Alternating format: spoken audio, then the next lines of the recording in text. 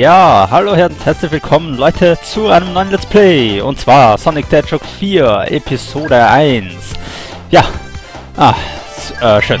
So, ja, das ist mein nächstes Projekt. Ich schaue nur, ob die Lautstärke gespeichert wurde, weil es am Anfang laut war. Ja, gut, ihr müsstet mich richtig hören. Und ja, äh, da Sonic the Hedgehog 4 Episode 2 rausgekommen ist, am 15. Mai, ja, genau, äh, ja, wollte ich nicht mit Episode 2 direkt anfangen zu Let's Playen, sondern bei Episode 1. Und da Bulletstorm und Mario und Luigi jetzt fertig sind, geht das ganz gut. Und dann würde ich sagen, wir starten ein neues Spiel. Schaut aber noch ganz kurz die Story an, die hier steht, glaube ich. Ja, und zwar, der böse Dr. Eggman macht von nichts Halt, um sein Eggman Land zu erschaffen. Er verwandelt Tiere in Roboter und sucht die legendären Chaos Emeralds. Nur Sonic the Hedgehog kann ihn aufhalten. Und die Charaktere sind Sonic und Dr. Eggman. Äh, Sonic ist gut, Dr. Eggman ist böse. Das müsste man eigentlich schon wissen. So, ja, dann würde ich sagen, wir starten gleich ein neues Spiel. Ja, natürlich. Ja, bin ich. Das habe ich mir schon gedacht, dass jetzt wieder alles laut wird. ja, das Abenteuer beginnt gleich.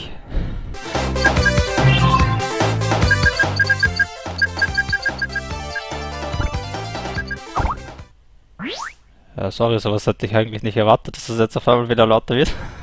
Ach, naja, eigentlich schon. Okay, ähm, gut. Und das Cup hat mich auch jemand angeschrieben. Aber das ist doch völlig egal. Wir spielen Sonic. So, ja, das Abenteuer beginnt. Das ist die erste Level. Der erste Level. Na dann. Also, wir können wieder, ja, nach links und rechts bewegen. Alles gar kein Problem. Springen können wir wieder. Und was wir jetzt auch können, wenn wir in der Luft nochmal springen, so eine Attacke, die wir nach vorne äh, geschleudert werden. Und wir können einen Verfolgungsangriff.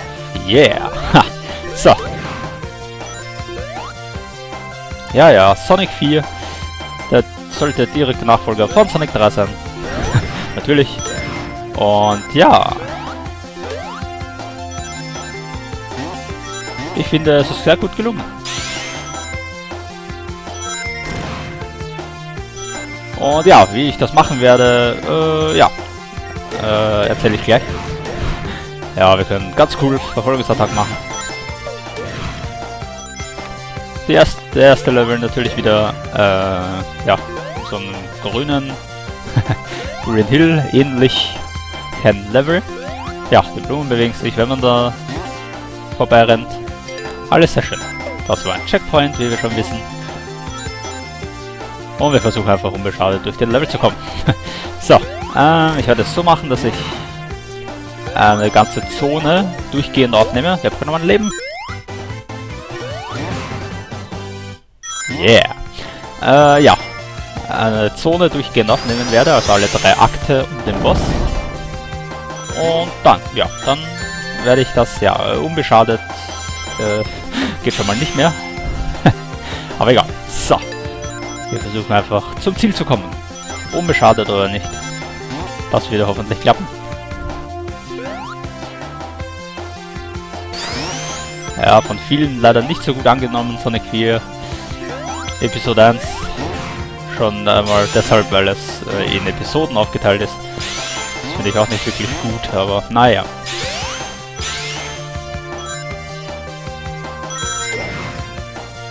So. Ja, und äh, noch dazu sagen vielleicht, dass es nicht bleibt. Episode 1 kenne ich schon. Episode 2 wird dann auf jeden Fall bleiben. So, was wir hier haben, ist das Ziel. Und natürlich so ein großer Ring, den wir aus den früheren Sonic-Spielen kennen. Aus Sonic 2, bei Sonic 3 gab es, ja, die auch, aber nicht am Ende des Levels, sondern irgendwo im Level verstreut. Und so konnte man sich Chaos Emeralds holen, ja. In Episode 1 ist das Special, Sta Special Stage, in dem wir jetzt reinkommen werden. Genauso wie bei Sonic 1. Und bei Episode 2 genauso wie bei Sonic 2. Äh, genauso nicht, aber so ähnlich. Und zwar können wir äh, spielen dieses Level, indem du den Spielbildschirm mit dem Stick oder dem Steuerkreuz neigst. Durch Drücken von A oder B springt Sonic. Lass Sonic zum Chaos Emerald wirbeln. Okay. Das bedeutet, wir können die Welt drehen. Das ist schon mal anders als bei Sonic 1 beim Special Stage, weil da hat sich die Welt immer automatisch gedreht. Da waren dann bestimmte Punkte, äh, bestimmte Blöcke angekommen ist. Hat sich die Welt dann in die andere Richtung gedreht. Und durch... Und wir müssen immer eine bestimmte Anzahl Ringe in einem Abschnitt sammeln, damit sich der nächste öffnet. Und die Pfeile... Den Pfeilen sollten wir normalerweise immer folgen. ja, das waren Goal-Blöcke und... Ja, dann verlassen wir den Special Stage leider ohne Chaos Emerald. Und das wollen wir doch nicht. So... Schauen wir, dass wir hier unbeschadet durchkommen. Hier müssen wir wirklich unbeschadet durchkommen. Hier haben wir keine Möglichkeit mehr. Ah, das geht doch. Haben wir sehr gut erledigt. Sehr viel Restzeit und wir haben den ersten Chaos Emerald erhalten. Ich versuche im Let's Play natürlich, alle Chaos Emeralds zu bekommen. Ähm, ja, natürlich. Und versuche es. Ähm, ich weiß nicht, ob es klappt. Äh, könnte schwer werden. Aber wir können jetzt alle von allen Leveln Akt 1 bis Akt 3 spielen. Und die Speziallevel können wir noch frei wählen, natürlich nur die, in denen wir schon waren. Also Level 2 können wir und 3 und 4 und 5 und 6 und 7 können wir jetzt noch nicht machen. Aber wir können Level 1 nochmal versuchen. Und sogar im Zeitangriff, wie schnell wir das schaffen. Eigentlich ziemlich cool. So, ja, wie ihr seht, vier Level gibt es, vier Zonen. Also werden das voraussichtlich normalerweise vier Parts, außer wenn natürlich eine Zone länger dauert, werde ich natürlich den Part teilen. Also werde ich euch dann nicht, werde ich mich dann nicht verabschieden, sondern bin einfach weg und ihr seht mich im nächsten Part wieder. So. Aber die erste Zone sollten wir eigentlich in 20 Minuten oder so beenden. Naja, halbe Stunden Parts kann ich eigentlich auch machen. Mal schauen, wie lange es dauert. Mit Level 2, Akt 2, Geschwindigkeitsrausch. Splash Hill Zone heißt sie. Okay. Jetzt haben wir hier schon ein neues Element, wo wir uns nach oben schleudern lassen müssen. Okay, können wir machen. Spricht nichts dagegen. Ach ja. So, wir können natürlich, das habe ich ganz vergessen zu zeigen, natürlich weiterhin... Was hier? Das haben sie natürlich nicht rausgenommen. ja, ganz schön doof. Weil das brauchte man auf jeden Fall und braucht man hier auch in dem Spiel, um auf ein paar Punkte, ein paar Punkten nach oben zu kommen. Wenn es normalerweise nicht klappen würde.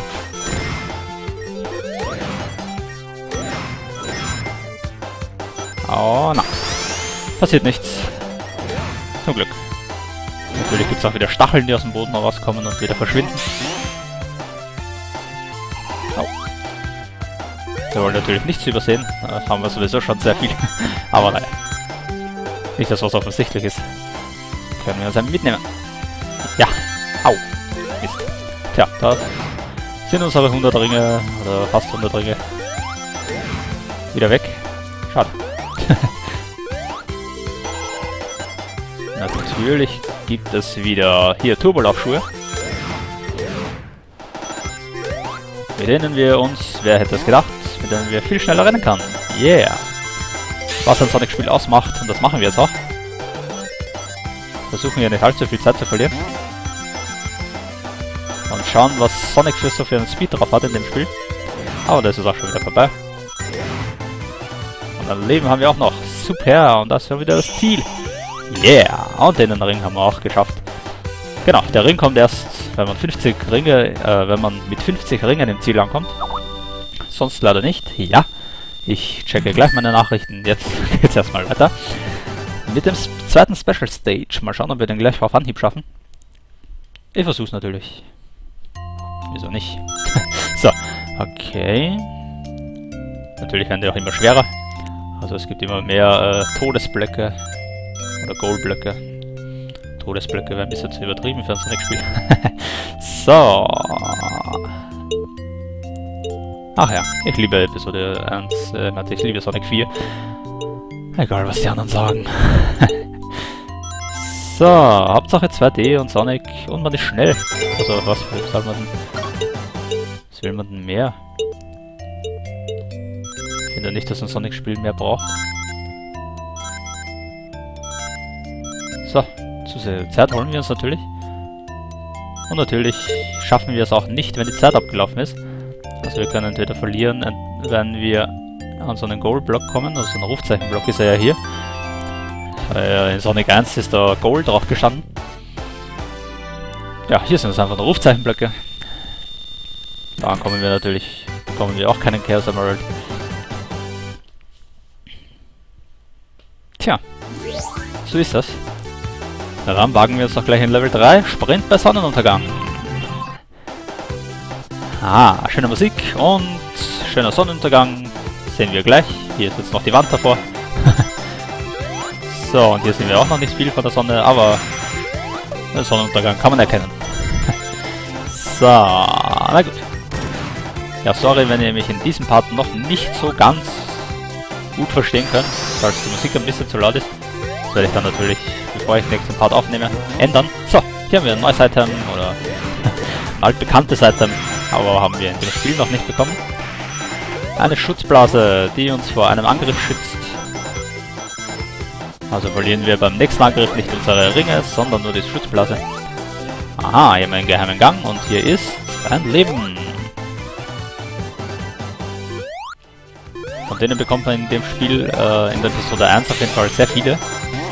Ich weiß nicht, ob das in Episode 2 wieder geändert ist oder ob es da noch immer so viele gibt. Das werden wir bald rausfinden. Erst schauen wir, was in Episode 1 passiert ist. Holen unser Leben ab.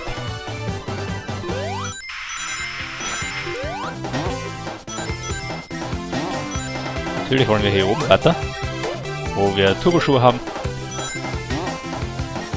Super Turbo, wie ich ihn als Kind immer genannt habe.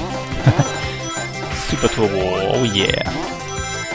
Ah, das ist Sonic, wo man so durch die Levels rasen kann. Was ist daran schlecht? Immer dieser Kritiker. so, und das war's. Noch nicht in Level 3. Hat wieder so ausgeschaut. Kann man ein bisschen erkennen an der Form, äh, wie der Level aufgebaut ist zum Schluss. Da gibt es einfach einen sehr langen, geraden Weg bis zum Ziel. So wie hier. wieder in den großen Ring. Super! Drei Chaos Emeralds im ersten Level, das wäre super. Mal schauen, ob wir das auch hinbekommen. Ah, ja. Sonic 4.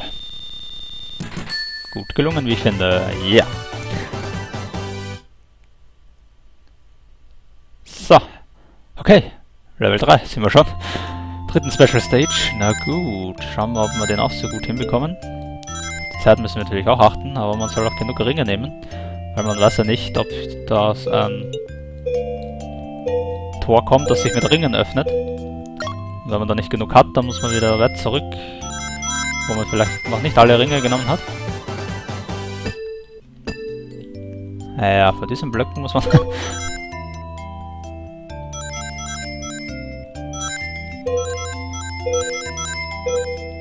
so, da ist zum Beispiel so ein Tor, das sich jetzt geöffnet hat. Und wir sollten schnell hindurch, um uns wieder einen Zeitbonus zu holen. So, jetzt rennt die Zeit aber schon wieder ab. Dann holen wir uns auch noch den Zeitbonus hier, dann rennt die Zeit aber schon wieder ab. Ich weiß nicht, ab wann kommt der Warnton? Ab 20 Sekunden? Egal, wir brauchen Zeit. Okay, jetzt noch schnell hier durch dieses kleine Labyrinth hier durch. Innerhalb der nächsten 5 Sekunden. Ja! Klappt, klappt, klappt. Dritten Emerald. Huh. Ha. Ist doch gut gegangen. Ha. Freut mich. So.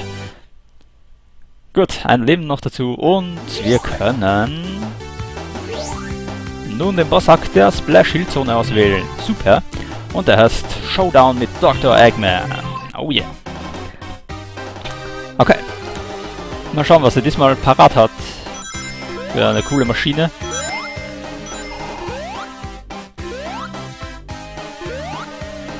Ah. Ach ja, das kennen wir schon. Und das kennen wir auch schon. Yeah.